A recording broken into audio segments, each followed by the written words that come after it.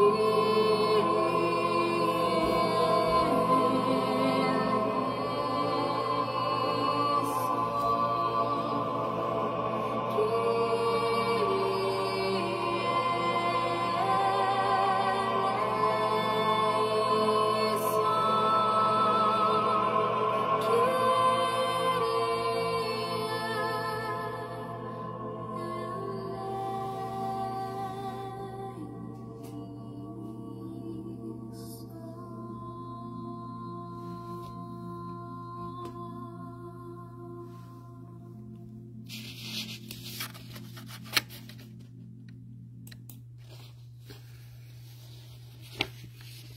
Now, as evening falls and silence beckons to gather us in the arms of grace and rest, we pause for a few moments to remember this day and all which we have experienced. Now, as the hurry and worry of the day can be placed in the bin of forgetfulness, we quiet ourselves so we can reflect on where grace met us, where hope led us. Now, as we prepare ourselves for bed and slip into the arms of our God who watches over us. We will offer our fears as well as our hearts to the one who will cradle them during the night, mending our brokenness and giving us the courage to face tomorrow. Glory to the Father, and to the Son, and to the Holy Spirit, as it was in the beginning, is now, and shall be forever. Amen. Our psalm for tonight is Psalm 27, and here's a paraphrase. In the increasing shadows of doubts and worries around us, come with your light of hope, God of the fearful. When we are afraid of what this night might bring or whether tomorrow will be an improvement, you gather us close to your heart with words of comfort and kindness. We are just so, so weary of all that has been going on for more days than we can count. It is not only recovering from the pandemic, for perhaps we just need to learn to continue to live with hope and confidence. But there are folks massing on the edge of countries with threats and weapons. There are places where borders are closed. There are people who cannot seem to move on. If it was just one thing, we might be able to manage, but we, you continue to fill our hearts with trust that you are in control. There are moments when I would like to claim sanctuary in your house and hide away or go off into the woods and live in the silence of creation. But you, you would have me stay here where I am, knowing that you are as close to me as my next breath. So I will keep trying to stand up to the cruel bullies, to find your face in the folks I meet, to sing when others encourage me to offer anger and bitterness, to stay as close to you as I can, even when everyone runs as far away as they can from me. For I still have so much to learn from you even now, to discover how to turn off the seductive whispers of the foolish, and to never give up hoping that when tomorrow comes, I will find your goodness has not withered away, and if I am but more patient, I will be able to go out and invite others to join me in the waiting. Our first reading tonight is again from the book of Genesis. We're reading verses 15 through 26 of the 50th chapter. Realizing that their father was dead, Joseph's brother said, What if Joseph still bears a grudge against us and pays us back in full for all the wrong that we did to him? So they approached Joseph, saying, Your father gave this instruction before he died. Say to Joseph, I beg you, forgive the crime of your brothers and the wrong they did in harming you. Now, therefore, please forgive the crime of the servants of the God of your father. Joseph wept when they spoke to him. Then his brothers also wept, fell down before him, and said, We are here as your slaves. But Joseph said to them, Do not be afraid. Am I in the place of God? Even though you intended to do harm to me, God intended it for good, in order to preserve a numerous people, as he is doing today. So have no fear. I myself will provide for you and your little ones. In this way he reassured them, speaking kindly to them. So Joseph remained in Egypt, he and his father's household, and Joseph lived 110 years. Joseph saw Ephraim's children of the third generation. This children of Machir, son of Manasseh, was also born on Joseph's knees. Then Joseph said to his brothers, I am about to die, but God will surely come to you and bring you up out of this land to the land that he swore to Abraham, to Isaac, and to Jacob. So Joseph made the Israelites swear, saying, When God comes to you, you shall carry up my bones from here. And Joseph died, being 110 years old he was embalmed and placed in a coffin in Egypt. Then our Old Testament psalm tonight is verses 5 through 8 is Psalm 63. My soul is satisfied as with a rich feast. My mouth speaks praise with joy on my lips.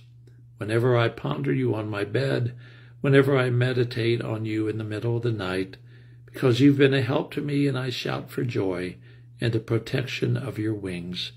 My whole being clings to you. Your strong hand upholds me. Glory to the Father, and to the Son, and to the Holy Spirit, as it was in the beginning, is now, and shall be forever. Amen.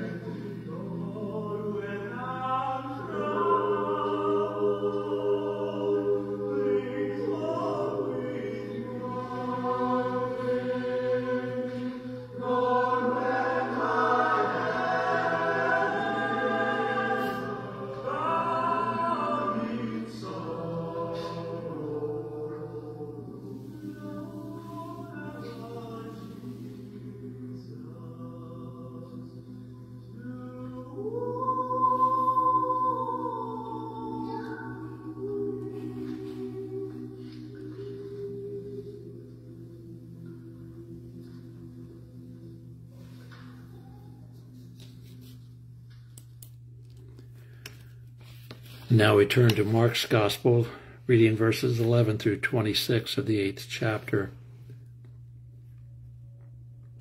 The Pharisees came and began to argue with him, asking him for a sign from heaven to test him. And he sighed deeply in his spirit and said, Why does this generation ask for a sign? Truly I tell you, no sign will be given to this generation. And he left them. And getting into the boat again, he went across to the other side. Now the disciples had forgotten to bring any bread, and they had only one loaf with them in the boat. And he cautioned them, saying, Watch out, beware the yeast of the Pharisees and the yeast of Herod. They said to one another, It is because we have no bread. And becoming aware of it, Jesus said to them, Why are you talking about having no bread? Do you still not perceive or understand? Are your hearts hardened? You have eyes and fail to see do you have ears and fail to hear, or do you not remember? When I broke the five loaves for the five thousand, how many baskets full of broken pieces did you collect? They said to him, Twelve. And the seven for the four thousand, how many baskets of broken pieces did you collect? They said to seven. He, they said to him, Seven. Then he said to them, Do you not understand? They came to Bethsaida. Some people brought a blind man to him and begged him to touch him. He took the blind man by the hand and led him out of the village. And when he had put saliva on his eyes and laid his hands on him, he asked him, Can you see anything? And the man looked up and said, I can see people, but they look like trees walking. Then Jesus laid his hands on his eyes again, and he looked intently. And his sight was restored, and he saw everything clearly. Then Jesus sent him away to his home, saying, Do not even go into the village. And then our New Testament song is from Psalm 94. Whenever I feel my foot slipping, your faithful love steadies me, Lord. When my anxieties multiply, your comforting calms me down. But the Lord is my fortress, my God is my rock of refuge. Glory to the Father, and to the Son, and to the Holy Spirit as it was in the beginning, is now, and shall be forever. Amen. And then the reflection for tonight comes from those devotions I wrote several years ago from Lent. This one is based on Mark 8, 17 through 18. And becoming aware of it, Jesus said to them, Why are you talking about having no bread? Do you still not perceive or understand? Are your hearts hardened? Do you have eyes and fail to see? Do you have ears and fail to hear? And do you not remember? Our refrigerators are stocked, but we think we are hungry. Our hands can reach out, but we stick them in our pockets. Our eyesight is fine, but we cannot see justice. Our ears work well, but we do not hear whispers of pain around us. The pantries of our souls are stocked with grace, but we turn our back on others. We have passed every test, but don't have a clue as to be God's people.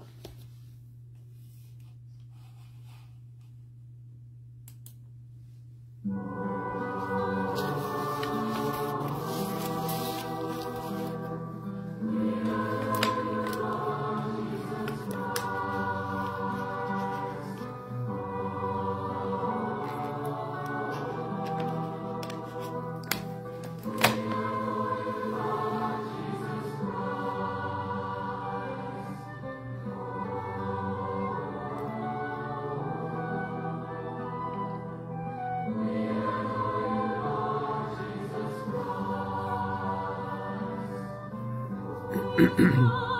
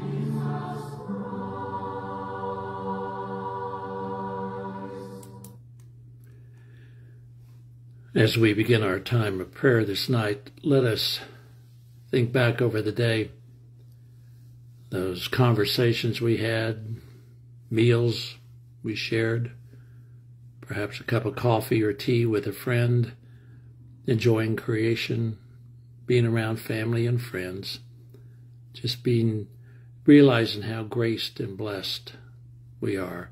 And let us in the silence offer up our prayers of thanksgiving to our God.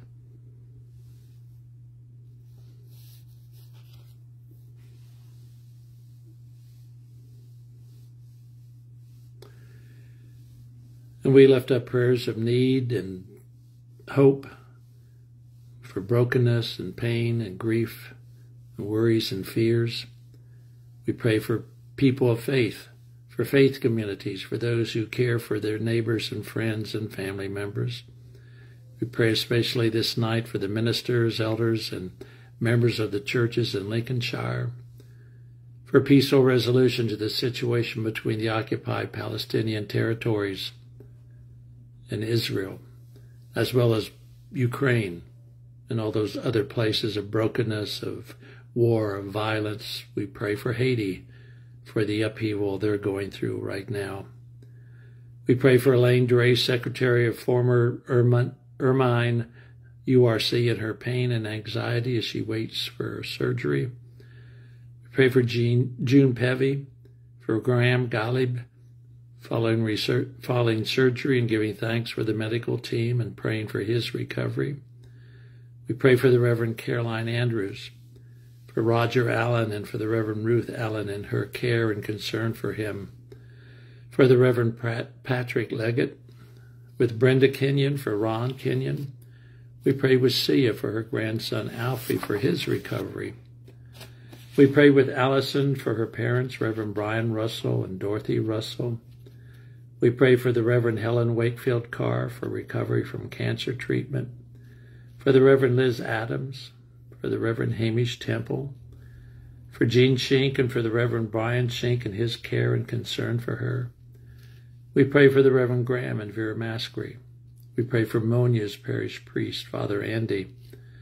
We pray with Ankatea for her friend Baya, with the Reverend Claire and Reverend Brian Davidson for their daughter Susie, for Cheryl as well as for Prince and the family as they continue to care for her.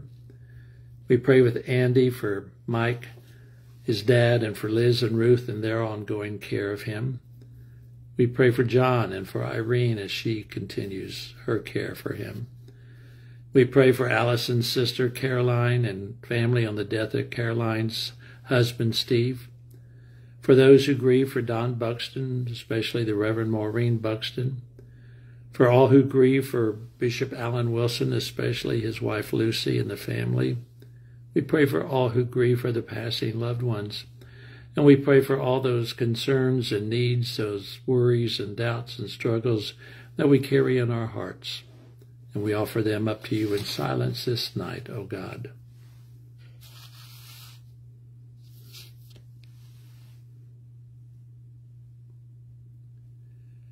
For what shall we pray this night?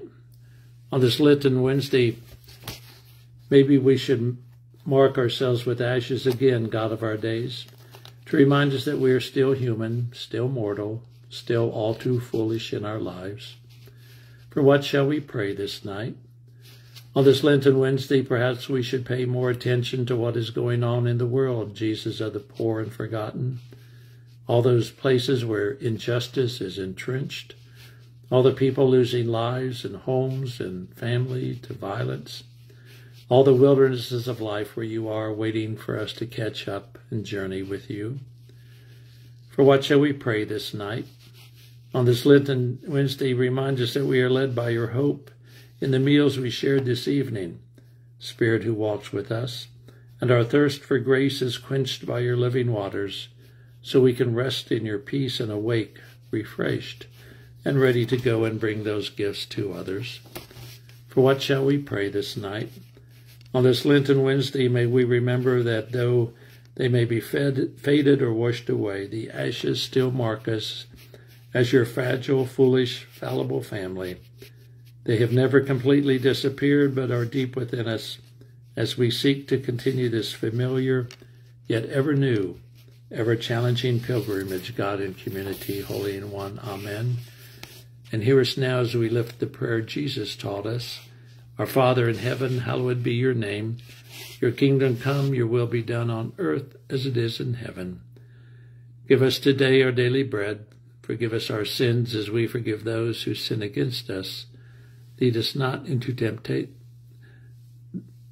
Save us from the time of trial, and deliver us from evil, for the kingdom, the power, and the glory are yours now and forever. Amen.